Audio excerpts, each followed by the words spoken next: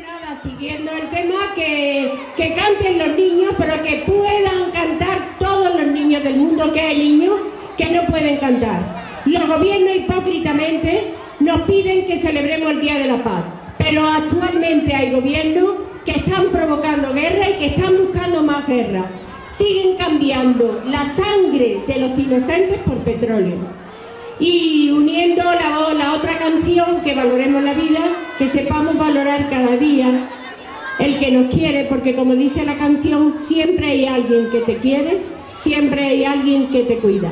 Y terminar diciendo que la paz no es solamente que no haya guerra, la paz también es trabajar desde pequeñito por la igualdad de todo y por la justicia en el mundo. Y vosotros niños sois el futuro, vosotros merece la pena. Vosotros sois los que nos dais la paz a los mayores. ¡Viva todos los niños del mundo! Muere.